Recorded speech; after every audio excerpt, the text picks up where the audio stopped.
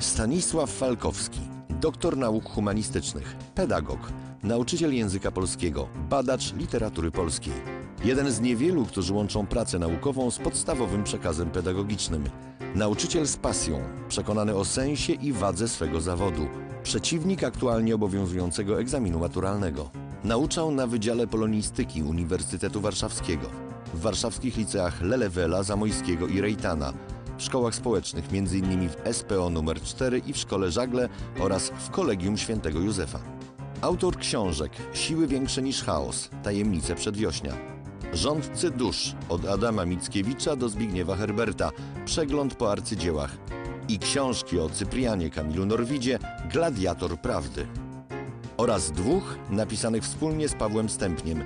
Żyrafa, czyli po co i jak czytać poetów współczesnych i Ciężkie Norwidy, subiektywny przewodnik po literaturze polskiej.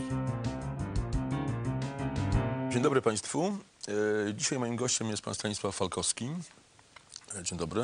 Dzień dobry. E, Badacz literatury, nauczyciel polskiego czy pedagog. Na nagrobku będę miał napisane nauczyciel, O, e, tak jak moja babcia. ale oddzielić się tych funkcji nie da. Kim jest dobry nauczyciel? Kto to jest? Znaczy jaką, jaką on ma misję i jaką to powinien czynić? Dobry nauczyciel odznacza się przynajmniej takimi trzema cechami, tak? Po pierwsze, zna się osobiście na przedmiocie, którego uczy. To znaczy, powinien być badaczem. Po drugie, ma chęć uczyć. Świadomie nie mówię, że umie to zrobić, e, to robić, dlatego że nie ma kogoś takiego, kto by umiał każdą lekcję, która jest nam potrzebna wykonać. Czasami lekcja, prawda, uda się lepiej, a e, czasami gorzej. I po trzecie, chyba e, odznacza się pewną mm, wytrwałością. A w gruncie rzeczy wydaje mi się, że różnica między wieloma innymi zawodami, a zawodem nauczyciela i kilkoma innymi jeszcze ważniejszymi od nauczyciela, zwłaszcza lekarza, polega na tym, y, że y, nie można odejść współpracy od stołu operacyjnego. Kiedy się kończy operacja e, kształcenia tego młodego człowieka? Oczywiście operacja kończy się, czy dany etap operacji kończy się, kiedy dzwonek dzwoni, jeżeli w ogóle mówimy o byciu nauczycielem w szkole. Potem są fascynujące dalsze ciągi, prawda? Dowiadujemy się po pięciu czy po piętnastu latach, kim został uczeń nasz, niegdysiejszy, prawda, czy mm, student. Żyjemy w świecie, w którym e, ludzie są przyzwyczajeni do tego, że różne, różne rzeczy dzieją się za naciśnięciem guzika. Enter. Prawda? Naciskamy i coś się dzieje. E, tymczasem to, co jest niesłychanie zachęcające dla kogoś, kto to rozumie, jak sądzę, a może być zniechęcające dla kogoś, kto tego nie rozumie, e, w, przy wykonywaniu zadań nauczyciela, e, polega na tym, że ja naciskam nawet jakieś tam enter, prawda? Na przykład uczę kogoś e, o tym, co znaczy wiersz Torwida pod tytułem Pielgrzym. I potem za 20 lat niekiedy się przekonam, że to odegrało istotną rolę w życiu tego kogoś. Odpowiedź na pytanie o to, kiedy się kończy lekcja, jest następująca. Co najmniej trwa do tego momentu, do kiedy żyją moi uczniowie. A prawdę mówiąc, to być może trwa do końca świata, dopóki żyją ich potomkowie. A pańskim nauczycielem był słynny nauczyciel Warszawskiego Liceum, pan Gogulski. On na swoich uczniów wpływał e, w sposób taki może najbardziej dobitny. To byłoby takie określenie. Jeśli się otarliśmy o Gogulskiego, trudno, bo jak sądzę, no, dalej być takim, jakim się było e, poprzednio. Gogulski był żywym dowodem, że naprawdę go przejmuje e, to, o czym uczy, że to go rzeczywiście interesuje, że on to łączy z życiem, prawda? Mówił o literaturze i mówił o życiu równocześnie. Właściwie prawie od razu, od kiedy chciałem sam zostać nauczycielem, to wiedziałem, że chcę być innym nauczycielem, że chcę inaczej uczyć niż Gogulski. Teraz po wielu latach rozumiem, e, że nie umiem zrobić w wielu punktach nawet tego, co on umiał zrobić, na co go było stać, w tych warunkach, w których pracujemy. Chwilowo nie narzekamy, prawda, na warunki, w których pracują nauczyciele, ale to jest bardzo ważne. Dlaczego e, ważna jest literatura? To jest bardzo dobre pytanie. Dziękuję panie, panie profesorze. To jest bardzo dobre pytanie. Literatura jest ważna, ponieważ opisuje nam nas samych. Mnie opisuje to, co ja przeżyłem, tak? Któż tam mieszkał? Matka, bracia, krewni, sąsiedzi, dobrzy, kogo z nich ubyło, jakże tam o nim długo się mówiło, ile pamiątek, jaka żałość długa, tam, gdzie do pana przywiązańszy sługa niż w innych krajach małżonka do męża, gdzie żołnierz dłużej żałuje oręża niż tu syn ojca, po psie płaczą szczerze, prawda? To jest epilog e, e, pana Tadeusza. Czytamy ten tekst i zaczynamy się zastanawiać nad tym, a czy my także w naszym życiu mieliśmy takie miejsce, które było hmm, świętością serca, miejscem, do którego byliśmy przywiązani. E, dom, prawda, ojczyzny duszy, jak to nazywa przedwiośniu Żeromskie. Może bez epilogu pana Tadeusza nie zdalibyśmy sobie sprawy, e, że to jest dla nas e, e, ważne. Oczywiście literatura jest częścią naszego życia, zobowiązuje nas do czegoś. Możemy ją zaśpiewać, możemy się nią modlić, prawda? Wielkie modlitwy są także wielką literaturą. W wielkiej literaturze czasem są modlitwy. E, e, możemy próbować z bliska przyjrzeć się temu, jak inni ludzie cierpieli, e, jak się inni ludzie cieszyli, prawda? No, to wszystkiemu to można się przyglądać się z e, bliska. Możemy wracać do tych samych bohaterów literackich po ileś razy. Poprośmy o głos e, pańskiego byłego ucznia, obecnie, jak myślę, przyjaciela. Jego lekcje były zawsze e, spektaklem, nawet niekiedy czymś w rodzaju happeningu, ale e, zarazem e, łączyły pewną lekkość, spontaniczność z żelazną dyscypliną intelektualną. Stawiał nam bez wątpienia ogromne wymagania i tym wymaganiom chcieliśmy sprostać. On potrafił wydobyć niektórych z nas, przynajmniej no, z takich odmętów niepewności, braku wiary i jakby poprowadzić e, za sobą. Był kimś, e, kogo przekaz intelektualny współgrał w niezwykły sposób z jego postawą życiową. Tutaj nie było żadnego dysonansu, żadnej dysharmonii. Gdy mieliśmy okazję poznać go, e, można tak powiedzieć, od kuchni, e, przyjrzeć się jego życiu domowemu, życiu prywatnemu, to to właśnie nas uderzało. Ta niezwykła spójność między e, tym, co on nam przekazywał, e, tym przekazem etycznym, który również był w jego na, e, nauczaniu obecny, a który niewątpliwie wywodził się z surowo przestrzeganego dekalogu, a właśnie jego postawą życiową. To, co nas uwodziło w nim, to także to, że myśmy go postrzegali trochę jako takiego buntownika. No, ta broda, ten strój, to wszystko było trochę nie, nietypowe. My też się buntowaliśmy i mieliśmy poczucie takie, że e, no, możemy się w tym naszym młodzieńczym buncie niekiedy z nim e, solidaryzować. Myśmy postrzegali go jak, jako kogoś, kto no, też się nie mieści w tej szkolnej e, rutynie, w tych szkolnych murach. Ja myślę, że szkoła, zwłaszcza szkoła państwowa, jest instytucją, przeciwko której trzeba się buntować. Profesor Falkowski zdecydowanie opowiada się przeciwko na przykład obecnej maturze z języka polskiego, no, traktując ją jako no, taki wyraźny przejaw pewnej erozji e, e, współczesnej edukacji, jako coś, co pokazuje no, pewien proces, no, nawet można powiedzieć, degeneracji intelektualnej. Profesor Falkowski w czasie naszych lekcji zawsze nam pokazywał, że arcydzieła stawiają przed nami e, ogromne wymagania. Niejednokrotnie musimy powracać do danego tekstu, odczytywać go kilka razy, ale jeżeli zasmakujemy, jeżeli dokonamy jakby samodzielnego odczytania, samodzielnej interpretacji, to te arcydzieła będą do nas przemawiać przez długie na, lata naszego życia, będą dla nas pewnymi drogowskazami, będą takimi mm, nauczycielami e, naszego e, życia. Myślę, że w jednym punkcie e, polemizowałbym z Krzysztofem. E, mianowicie m, on był zbyt uprzejmy wobec systemu, w którym żyjemy, kiedy powiedział, że matura jest wynikiem erozji i tak dalej, prawda? Właśnie. Współczesna matura z polskiego, e, ta, która m, z uporem jest e, wcielana w życie jako obowiązkowa od e, 2005 roku, nie jest wynikiem erozji, pomyłką w pracy i tak dalej. Jest bzdurą i spiskiem na duszę naszych dzieci. I to mówię z całym naciskiem. Mówię to między innymi dlatego, że znam osobiście niektórych ludzi, którzy wcielają e, w życie e, lub wcielali do niedawna w życie jako wysocy urzędnicy władz oświatowych maturę z polskiego. E, są to ludzie, którym osobiście jako nauczyciel i jako nauczycielom bardzo wiele zawdzięczam w dziedzinie nauki fachu. Więcej nawet. Zawdzięczam im wiele jako wzorom moralnym. Ale z drugiej strony e, są to e, ludzie, których właśnie ze względu na to, że niektórych z nich znam osobiście, nie mogę posądzać o to, że oni nie rozumieją, co robią. To skąd ich udział w spisku? E, Dobre pytanie. Dziękuję, panie profesorze. Może nie rozumieją? Jednak? Dobre pytanie. Robią coś, co obiektywnie jest złe, w moim przekonaniu. Program matury, tej, która była, był niezbyt dobry. Ale tej, która jest od 2005 roku, w każdym razie, jeżeli chodzi o mój przedmiot, o język polski, jest intelektualnym skandalem.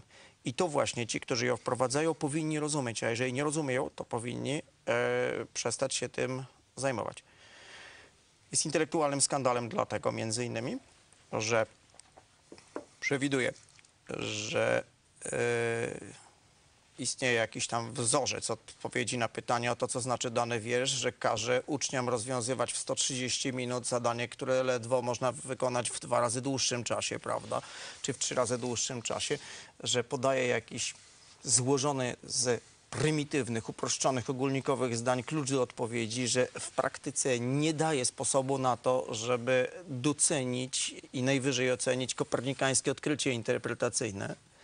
E, z powodów oczywistych, przy całym szacunku dla wszystkich urzędników polonistów, którzy e, dali się zaangażować do układania kluczy do, tak zwanych kluczy do odpowiedzi, prawda? No, rzecz polega na tym, e, że e, oni niekoniecznie wszystko wiedzą o tym wierszu, który jest na maturze i potrafią jest go klucz sami zinterpretować. to jest klucz dla nich. No, kluczy z ograniczonych własną wyobraźnią interpretacyjną, prawda? Przepraszam, ale przy całym szacunku dla nich, jeżeli by e, rzeczywiście poważnie traktowali interpretację, to nigdy w życiu by się nie zgodzili układać takiego klucza, bo rozumieliby, że e, to, co najważniejsze, być może dopiero czeka na odkrycie w tym wierszu. Młody człowiek pisze, odpowiada na pytanie. O, Trzema, pięcioma zdaniami, tak? o, Na tajemniczej drugiej stronie o. jest jakaś lista słów, które powinny być w tych trzech, pięciu zdaniach. Ci, którzy układają temat, wyobrażają sobie, co powinno być napisane w tym wypracowaniu. E, mniej więcej. I zapisują to, co powinno być napisane. Ale zapisać można to tylko w postaci schematu, albo napisać wszystkie wypracowania, które są napisane do tego. To jest sprzeczność, prawda? Zapisują to wobec tego w postaci schematu, złożonego z 10, 12 czy 18 punktów i tak dalej. I następnie nauczyciel, co już samo w sobie jest nienormalne, nauczyciel, egzaminator, tak, niemalże z lupą w ręku szuka tych poszczególnych punktów. Nie wiem, czy pan kiedyś widział, jak wygląda margines pracy ucznia e, pisanej na nowej maturze. Na tym marginesie jest napisane 10.1, 1b, 12.1, a pod wypracowaniem jest napisana recenzja, która brzmi e, tak. T 11, to znaczy temat 11. J 5. S to znaczy styl 3. Z to znaczy zapis ileś tam. Koniec recenzji. Tak porozumiewają się między sobą komputery i to zaprogramowane, prawda, przez y, jakąś centralę być może, a nie ludzie, którzy mają sobie coś do powiedzenia na temat y, y, literatury.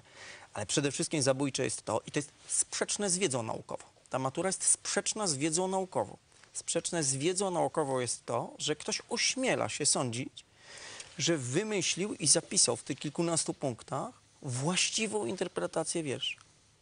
To nie znaczy, że nie istnieje interpretacja. To nie znaczy, że wszystko można powiedzieć o wierszu. Ale nie wolno zakładać z góry, że ktoś już nie wymyśli niczego, niczego mądrzejszego, prawda? Najgorzej na takiej maturze mają, prawda? No Kopernik ma najgorzej, tak? Einstein ma najgorzej. Ci, którzy są w dokonać prze- przełomu, bo dostają połowę możliwych punktów, prawda? Ale w ogóle to jest loteria, nie wiedzą, Wtedy prawda? nie idą na studia, ponieważ na studia przyjmują teraz pod, z tą maturą się idzie na studia, prawda? Albo nie idą na te studia, o które chodzi, dlatego że liczy się tylko punkty, prawda? Jeżeli ktoś raz zaliczy tam jakieś tam ileś punktów, prawda, to potem musi najwyżej starać się za rok czy za dwa lata zdawać maturę znowu. Czemu służy ta matura? Ja rozumiem, że służy temu, żeby się młody człowiek tymi punktami T3, 7, 5, 2, 8 lepiej dostosował do panujących warunków w świecie współczesnym. Czy to jest moja teza jest błędna? Ne, no, tę tezę trzeba wyostrzyć. Teza jest poprawna. Jeżeli uznać, że panujące w świecie współczesne warunki są warunki ustanawiane e, przez ministrów, prezesów, e, premierów i prezydentów, którzy urzędują w Brukseli, w Warszawie, w innych stolicach i tak dalej. Po prostu chodzi o to, żeby wychować sobie sprawnych i posłusznych wykonawców instrukcji. Istotnym celem matury z polskiego w moim przekonaniu w tej nowej wersji wcale nie jest to, żeby młodzież kochała literaturę, rozumiała z niej więcej. nawet nie jest to, żeby wyraźniej uporządkowała swoje myśli i potrafiła je w skończonej liczbie zdań wyrazić, na co nieraz się jej, prawda, promotorzy powołują. Istotnym i ukrytym celem jest to, żeby wytresować tych, którzy zdają maturę, żeby ich nauczyć, że opłacalną w życiu rzeczą i konieczną jest to, żeby w formularzu odpowiadać na tyle pytań, ile im się zadaje, nie na więcej po prostu. I broń Boże nie starać się wymyślić czegoś zupełnie samodzielnie i oryginalnie. Taki człowiek mógłby być niebezpieczny, to buntownik. E, lekko parafrazy, lekko trawestując Norwida mógłbym powiedzieć. Problem by znikał, gdyby nie istniała matura centralna. To jest jej zasadnicza wada. Żyjemy w świecie, w którym w sztandarach wypisuje się poszanowanie praw jednostki, autonomii, prawda, i tak dalej. Prawda jest zupełnie inna, prawda? Usiłuje się wszystkich e, sprowadzić mniej więcej do wspólnego mianownika. Pomysł, że wszyscy uczniowie w całej Polsce, tak, piszą e, dokładnie mm, na ten sam temat maturę tego samego dnia, w tej samej sekundzie, już jest pomysłem dziwnym i niesłusznym w moim przekonaniu. Świat jest różny, ludzie są różni, e, rzecz jasna. Dlatego zdecydowanie chciałbym wprowadzić w życie. Mam nadzieję, że uda się to zrealizować w przyszłym roku szkolnym, czyli że wystartujemy w roku 2008, e, bo w tym chyba już nie zdążymy. Maturę niezależną, tak to nazywam. E, Na całe szczęście tego nie mogę odmówić naszemu, mówiłem o Krajowie jak na razie. E, To nie jest zakazane. E, Mam nadzieję, że uda się to zrealizować. Jeżeli minister może organizować swoją maturę, to ja sam mogę też zorganizować swoją maturę. Konkurencyjną. Pan może, ale czy ten młody człowiek, który maturę od pana uzyska, będzie miał z tego powodu jakąś gratyf- gratyfikację w sensie punktów na uczelni? Mogę mu obiecać tylko jedno, że będzie miał satysfakcję i nadzieję na drugie, że może za rok, a może za 8 lat, przy przyjmowaniu go do pracy, może w szkole, pewnie nie państwowej, może gdzieś indziej, ktoś go zapyta, ma pan maturę od ministra? Tak. A może ma pan tę drugą, niezależną? E, celowo nie mówię, może ma pan maturę od Falkowskiego, czy może ma pan maturę od innego z jego współpracowników. O prawdziwym moim marzeniem byłoby to, żeby w Przasnyszu i w Zielonej Górze, w Nowym Sączu i we Wrocławiu, w Gdańsku, w Białymstoku, w Łomży i w Zamościu znalazło się przynajmniej kilkuset ludzi, którzy zorganizują niezależne matury z polskiego. Bo żyjemy w świecie upaństwowionym, prawda? W świecie, w którym większości ludzi się wydaje, że jeżeli coś nie jest państwowe, to jest mniej ważne, albo w ogóle nie istnieje, prawda? Że matura musi być państwowa. Nie musi. Faktem jest, że pan jest rzeczywiście człowiekiem zbuntowanym i to jest, i to jest, i to jest w porządku, mi się wydaje. E, Ja myślę, że jest inaczej. Ja myślę, że to ludzie, którzy uzurpują sobie prawo do tego, żeby zarządzać kształceniem naszych dzieci, e, naszym zdrowiem, e, e, programem maturalnym, wychowaniem naszych dzieci, są zbuntowani przeciwko naturalnemu porządkowi świata. To oni są zbuntowani. Poprośmy o głos pańskiego przyjaciela. Odznacza się on szczególnym darem jakiegoś wewnętrznego światła, który powoduje, że z rozmowy, z lekcji, z zajęć albo z lektury tekstu Falkowskiego człowiek wychodzi umocniony z poczuciem większej pewności, przywrócenia albo umocnienia sensu. To jest dar niezwykły, który e, spośród ludzi, których znam, reprezentuje może dwóch, może trzech. Po drugie, odznacza się niezłomną prawością, która jest u niego czymś, co można by nazwać fundamentem wewnętrznej wolności. W świecie znikczemnienia, koniunkturalizmu i zdrady, ponad wszelką wątpliwość jaśnieje jako przykład człowieka wolnego, który nie ulega żadnym wpływom innym niż te, którym chciałby podlec. Jest człowiekiem obdarzonym niebywałą przenikliwością interpretacji tekstów literackich, która w połączeniu z lotną, fascynującą wyobraźnią oraz prawdziwym talentem pisarskim powoduje, że teksty o literaturze pisane przez niego są nie mniej fascynujące niż same dzieła literackie, o których opowiadają. Odznacza się szczególnym rodzajem natchnienia, które można by nazwać świętym entuzjazmem, czy jakkolwiek inaczej, jakimś szczególnym płomieniem, który to entuzjazm powoduje, że e, Stanisław Falkowski jest porywającym mówcą, porywającym rozmówcą, porywającym nauczycielem i porywającym autorem. Wreszcie na koniec warto by dodać, że jest niezawodnym i skutecznym przyjacielem.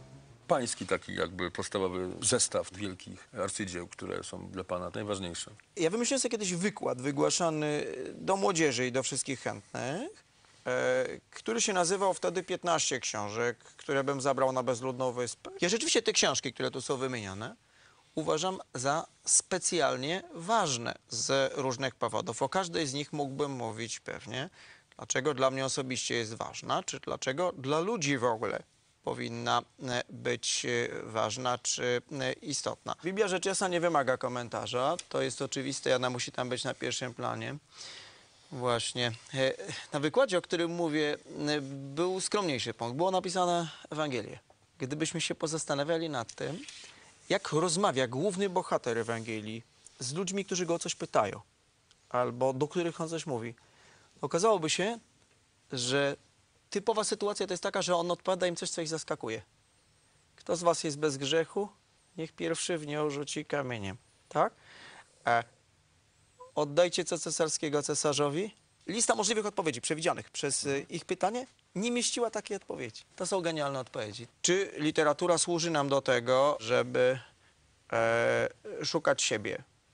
O tyle, o ile szukanie siebie służy do tego, żeby szukać Boga. Bo to jest nasze zadanie, prawda? E, A y, nie to, żebyśmy odnaleźli w literaturze siebie, w sobie literaturę, a nawet, prawda, przy całej naszej miłości do Mickiewicza i Norwida, żebyśmy znaleźli Mickiewicza i Norwida. Oczywiście trzeba znaleźć, prawda? Nas może przywieźć do tego, czego rzeczywiście szukamy, to znaczy do tego, kogo mamy rzeczywiście szukać. Może być, że tu należałoby zacytować wiersz Norwida Pielgrzym, tak? E, Który e, mówi o tym, że człowiek, który idzie po ziemi, e, no, najwspanialszą rolę odgrywa, czy że należy do najwspanialszego stanu, jeżeli idzie po ziemi z świadomością, tak, dokąd zmierza. Nad stanami jest i stanów stan, jako wieża stercząca nad płaskie domy w chmury. To jest oczywiście stan pielgrzymi, prawda? Wspanialszy od stanu królewskiego, senatorskiego, rycerskiego i tak dalej. Wy myślicie, że i ja nie pan, dlatego że dom mój ruchomy z wielbłądziej skóry. A przecież ja aż w nieba łonie trwam, powiada Norwid. Gdy ono duszę mą porywa jak piramidę, przecież i ja ziemi tyle mam, ile jej stopa ma pokrywa, dopokąd idę, tylko tyle, cztery zwrotki. Norwid potrafi myśleć równocześnie o niebie i ziemi. Jest niebywale przenikliwym komentatorem tego, co my w tej chwili przeżywamy. E, Nie dlatego, że był jasnowidzem, tylko dlatego, że był przenikliwym obserwatorem tego, ku czemu rzeczy zmierzają. Prawda? W wierszu Spartakus pisze o 200 tysiącach widzów, którym codziennie już trzeba łez i krwi. Przychodzą na walki gladiatorów, bo tylko wtedy czują, że żyją, kiedy widzą krwawe widowiska. Tak? W wierszu e, Ostatni despotyzm e, e, e, przedstawia sytuację w fascynujący, arcydowcipny sposób, prawda? Kiedy do salonu, pewnie w dzień przyjęć, kiedy tam herbata jest prawda u księżnej X czy u baronowej Y, przychodzi gość na pytanie, co nowego? Odpowiada, despotyzm upadł, wraz opowiem. Na to gospodarz czy gospodyni, to nie jest wyraźnie określone, ale cały wiersz ma strukturę dialogu, mówi, proszę siadać, y, może pomarańcze, tamten odpowiada, pomarańcza widzę z Malty, wyśmienita, ale jak z tym despotyzmem? "Ech, Ale słyszę, że w przedsionku chrzęszczą Macintosze, tam rodzaj płaszcza przeciwdeszczowego. To baron, co nowego nam baron opowie, proszę siadać. I w ten sposób trzy czy czterokrotnie rozmowa na ważny temat zostaje przerwana po to, żeby w uprzejmy sposób witać poszczególnych gości. Gospodarz czy gospodyni salonu pamięta również o tym, żeby uprzejmie wracać do tematu poruszonego przez pierwszego z gości, ale wiersz kończy się na pytaniu, jakże ów despotyzm runął, bo już nie znajdą czasu wśród plotek, wiadomości. I teraz, co Norwid nam tutaj pokazuje? pokazuje nam, że ostatnim despotyzmem w świecie, w którym nawet wszystkie despotyzmy by już upadły, jest despotyzm tego eleganckiego, prawda, konwenansu e, salonowego. Poprawność, nak- poprawność Tak, po, poprawność zachowania, prawda, nakazuje elegancko mówić i lekko o sprawach rozmaitych, do każdego się uśmiechnąć, ale uniemożliwia skupienie się już nie przez godzinę, ale przez pięć minut na temacie, który jest rzeczywiście arcy ważne. Co Norwid opisał? Opisał nasz świat. Świat, prawda, poszatkowanych wiadomości, które uczą nas, e, napływających ze wszystkich stron, prawda, które uczą, czy raczej przyzwyczajają nas do tego, żeby na niczym nie skupiać uwagi.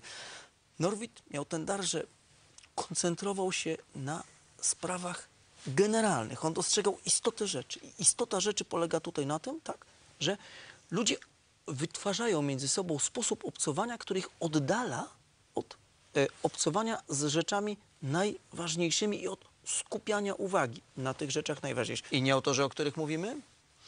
Trzy po trzy tu widzimy na ekranie, tak? Ale nie z listy, prawda? E, tak, rzeczywiście. Nie ma tej książki na liście. Wahałem się, czy mamy ją wprowadzić w tej chwili, czy nie. Z pewnych względów na razie jeszcze jej nie ma. Fredro jest też arcyprzenikliwym prorokiem naszych czasów, prawda? On pisze o okropnościach wojennych, takich, które właściwie przypominają okropności e, XX wieku. Może dlatego wahałem się, że to jest książka niezwykle smutna, która bez, chociaż nie bez akcentów nadziei, która bez e, e, nieśmiałości, bez tchórzostwa, prawda, mówi o e, człowieku, mm, przedstawia, to jest książka pierwszej osobie, prawda, e, człowieka, który opłakuje rozstania z własnymi bliskimi, tymi, którzy umarli. O tym samym mówi starzec w pierwszej części Dziadów Mickiewicza, tej nieczytywanej w szkole, czy najrzadziej czyta, czytywanej, prawda?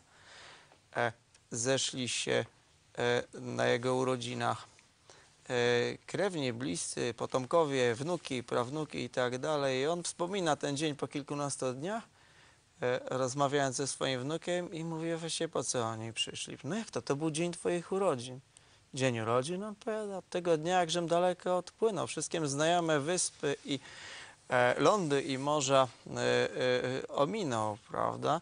E, e, inny świat rzucam, aniżelim zastał. Nieszczęsny, kto częściami do mogiły wrastał, prawda? Nie wiem, czym pośród trupów, czylim sam umarły, prawda?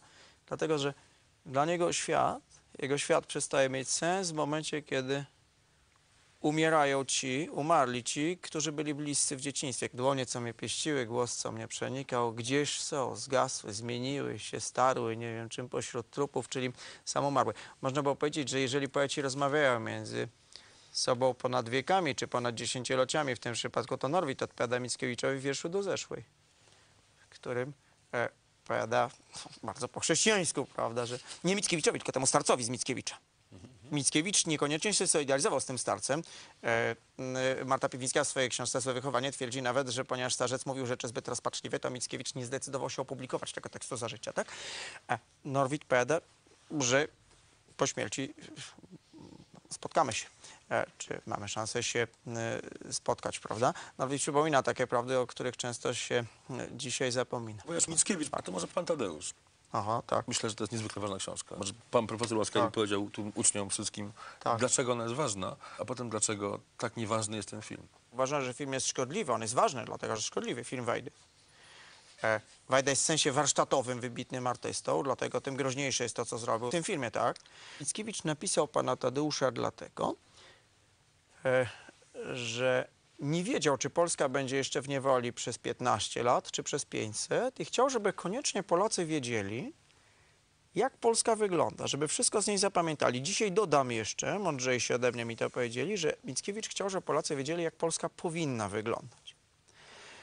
E, pan Tadeusz jest dlatego ważny, że są w nim e, drzewa litewskie i e, śniadanie w domu sędziego.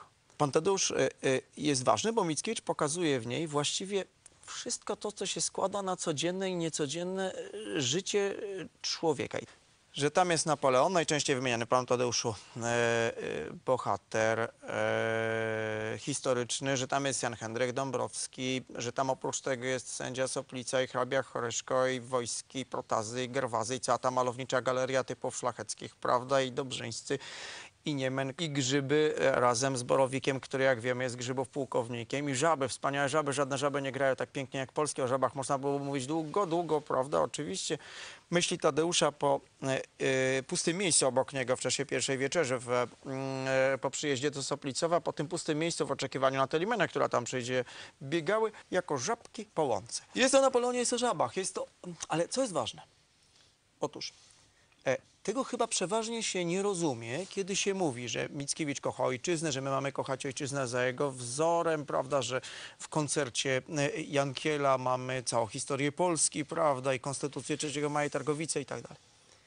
Mianowicie, że Mickiewicz jak przystało na jednego z autorów największych dzieł, bo to jest w dziełach największych, e, dzieli się z nami myślami na temat doświadczeń ludzkich, a nie polskich, litewskich czy nadniemeńskich. To e, są doświadczenia, które nie mogą się zrealizować inaczej niż jako doświadczenia jakiegoś Polaka, Islandczyka, Hiszpana, Francuza czy Niemca, prawda? Bo e, żaden z nas choćby nie mówi w języku e, ludzkim, a nie europejskim. Bardzo by chcieli zwolennicy języka europejskiego, żebyśmy mówili w języku europejskim, prawda? Ale nie, żaden z nas tak mówi w języku polskim, hiszpańskim, islandzkim, prawda? Francuskim czy jakimś. Ale Mickiewicz rozumie, że tym, co jest dla nas a ważne, e, prawda, tym, co, że to, co jest dla nas ważne, to, co jest święte, to jest to, w co wrastamy. Mickiewicz rozumie, e, że rzeczą bliską dla nas, na różnym szczeblu bliskości, na różnym szczeblu ważności, jest kawa, którą piliśmy na śniadanie. Prust potem to też rozumiem, koło niego była herbata, jak wiadomo, lipowa. E, tak. E, jest bigos, który jedliśmy na polowaniu. Jest obłok, który płynął nad e, naszymi głowami. Włoskie niebo. Powiada, pan, powiada Tadeusz, tak, w trzeciej księdze pana Tadeusza, no nie jest takie doskonałe jak polskie, bo u nas jeden obok się zmienia w żaglowiec, tak, a drugi w e, rumaka pędzącego po stepie. To jest dopiero niebo. Tym, co jest bliskie, jest wspomnienie wielkich bohaterów znanych z literatury i z e, wspomnień własnego dziadka, czy ze wspomnień kogoś takiego jak Wojski. To wszystko składa się na nasze życie. Mickiewicz pobudza nas do entuzjazmu dla e, naszego życia, do entuzjazmu wobec tego, co jest nam bliskie, prawda? E, I równocześnie oswaja nas z myślą e, o tym, że ci ludzie, którzy są nam bliscy, te rzeczy, które są nam bliskie, nie są, są ziemskie, prawda? O tyle, o ile są ziemskie, nie są nieskończone, są śmiertelne. Pan Tadeusz jest książką pogodną i książką smutną równocześnie i jak sądzę nieprzenikniętą do końca. On o tym nas uczy między innymi. Oczywiście on oprócz tego uczy nas tego, jaka jest Polska, którą mamy zapamiętać, której mamy się nie wyrzec, co w epoce rozbioru było specjalnie ważne, ale on nie jest tylko takim utworem doraźnym. A film, o który pan pytał? Otóż e, e, film Wajdy w moim przekonaniu przede wszystkim fałszuje pana Tadeusza. A, I można podać tu przykład e, bardzo widowiskowy, mianowicie taki tą sceną, w której wojski e, rzuca nożem trzymanym w rękawie. Oczywiście nikt nie przeczy i pan Tadeusz Mickiewicz też nie przeczy, że pan Tadeusz przedstawia świat, który wcale nie jest taki idealny. To jest świat kochany, ale równocześnie świat, w którym dochodzi do porachunków niemalże gangsterskimi metodami realizowanych, prawda? Gerwazy też dobrze rozumie, co znaczy ten nóż w rękawie, prawda? Jak widzi, że wojski trzyma w rękawie nóż, to wycofuje się zasłaniając ławą e, e, hrabiego, prawda, na chór organowy na pierwszym piętrze, to się w piątej księdze kłótnia e, rozgrywa, prawda. I teraz dowcip polega na tym, że u Mickiewicza wojski nie rzuca tym nożem. Również za drugim razem w ósmej księdze, kiedy następuje zajazd i już znowu bierze na cel hrabiego, dopiero rzuca w Rosjan, tak? Nie bardzo wiadomo, czy rzuca w Ry- Rykowa, czy w Płuta, prawda? Chyba w Płuta, ale e, nóż trafia w nogi Tary, którą trzyma Ryków. Na wylot ją wierci, schylił się na bok Ryków i tak uszedł śmierci. Prawda? Nawiasem mówiąc, cytat z mm, Homera, ale mniejsza o to. W tej chwili Mickiewicz bawił się tymi cytatami i wiedział, że ci, którzy go wtedy czytają, to pewnie e, będą pamiętali. A nam chodzi o co innego. E, Mickiewicz, jak sądzę, oszczędził wojskiemu i miał w tym jakiś cel ataku z bujecką bronią, który byłby w dodatku atakiem bratobójczym. A w filmie Wajdy już za pierwszym razem wojski rzuca tym nożem, trafia w ławę, prawda, co jest widowiskowe. Bardzo proszę, tak, oczywiście. Wajda w swoim filmie e, przedstawił e, mieszkańców Zaścianka Dobrzyńskiego e, e, tak, tych wszystkich Dobrzyńskich, jako ludzi o tępych twarzach, którzy wymachują maczugami, prawda, i właściwie potrafią tylko bić, zabijać, prawda, i patrzą, która by to głowa była do e, rozbicia. I teraz to jest bzdura. Mickiewicz panu Tadeuszu przedstawia ich jako naszych serdecznych znajomych, prawda, z łagodnym w tej chwili, a w przeszłości bohaterskim. 23 rany dostał za pana Pocieja w e, czasie rzezi Pragi, tak, Maćkiem Dobrzyńskim, który teraz karmi króliki, śpiewając sobie rano, kiedy ranne wstają e, zorze. I teraz o co chodziło? Mickiewicz nie kryje przed nami e, tego, co jest złe, może nawet nikczemne w tym świecie. Ale Mickiewicz mówi, że mamy tę Polskę, czyli tę Litwę, czyli tę Polskę kochać mimo to. I to jest wielka prawda wypowiadana w panu Tadeuszu, tak? Kochać mimo wad. A Wajda sugeruje, że może właściwie nie ma czego specjalnie żałować. Wręcz przemknęło mi przez myśl, że intencją Wajdy jest to, żeby powiedzieć Polakom, kochani, ta Polska to jest wasze wielkie wspomnienie. Ta dawna Polska sprzed 200 lat z tymi szlacheckimi dworami i tak dalej, to jest wasze wielkie i przyjemne i miłe wspomnienie. No, teraz świat idzie naprzód, mamy się zeuropeizować, prawda? E, I właśnie też nie ma czego żałować. Zobaczcie, tam bandyci mieszkali, prawda, w tym Dobrzynie. Takie interpretacje literatury, które pan czyni e, na lekcjach dla swoich dzieciaków po prostu. To myśli pan, że pan tymi swoimi e, interpretacjami, tą, tą pracą buduje zbroję dla tych młodych ludzi na, na te nowe czasy, który, o których właśnie wspomniał Wajda w pańskiej wypowiedzi? Oczywiście nie ukrywam, że chciałbym budować zbroję przeciwko e, e, pokusie uznania, że mamy nie być Polakami, tylko Europejczykami. To jest fałsz po prostu.